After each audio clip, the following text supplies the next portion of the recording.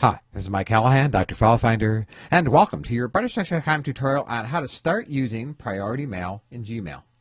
Google recently announced this new feature. It's rolling it out. So when you have it available in your Gmail account, you'll see something like this up at the top, new priority inbox. You can read a little bit about it and you can decide to try it. So we'll say try it now. It's activating the priority inbox keep in mind this is the first time I've seen this too. so you see up here, it's put important and unread emails, and down here is everything else. And what it will do is it will learn as you go along based on what you read and what you don't read, who you send email to, and who you receive emails from. Priority Mail will learn from your actions We'll take a look at their email.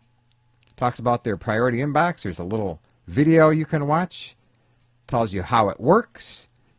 And it talks about the training process. You can customize the priority inbox, change the settings.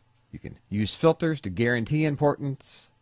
And you can even switch back to your old inbox if you prefer. Archive that.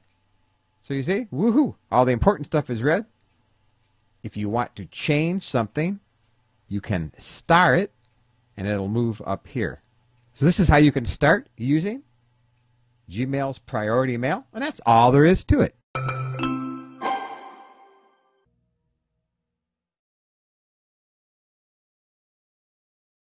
Hey, this is Doc.